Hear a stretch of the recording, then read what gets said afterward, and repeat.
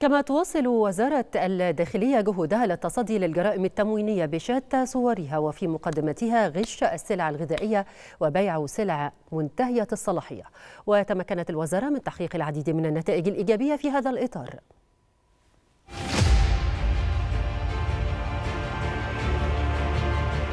في إطار تصدي أجهزة وزارة الداخلية للجرائم التموينية بكافة أشكالها خاصة ما يتعلق منها بحجب السلع عن التداول في الأسواق لرفع أسعارها.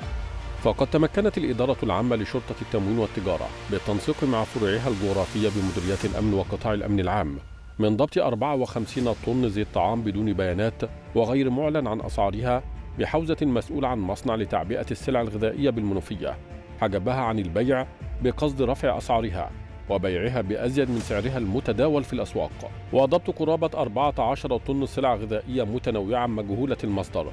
قام بتخزينها صاحب مخزن سلع غذائية بالقاهرة لرفع أسعارها وبيعها بالسوق السوداء. وضبط 16 طن أعلاف حيوانية مجهولة المصدر تم تخزينها لحجبها عن التداول بالأسواق بهدف رفع أسعارها. بحوزة مسؤول مخزن بدون ترخيص لتجارة الأعلاف الحيوانية بالإسكندرية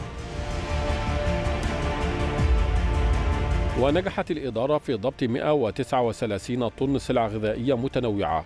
تم تخزينها بهدف حجبها عن التداول بالأسواق لرفع أسعارها وبيعها بأزيد من السعر المتداول لتحقيق أرباح غير مشروعة.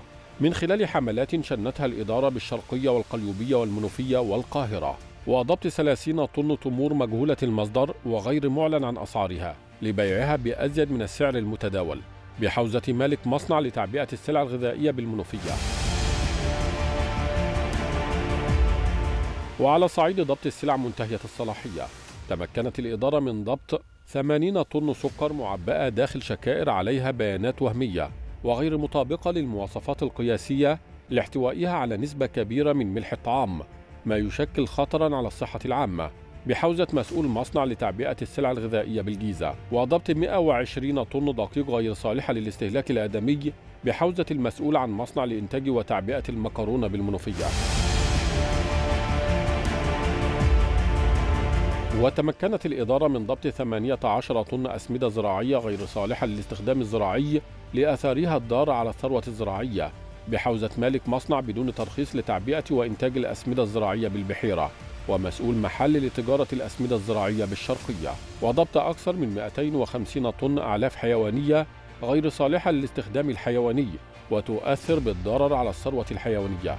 بحوزة المسؤول عن مخزن لتجارة الأعلاف الحيوانية بسوهاج ومالك مصنع بدون ترخيص لإنتاج وتعبئة الأعلاف الحيوانية بالمنوفية.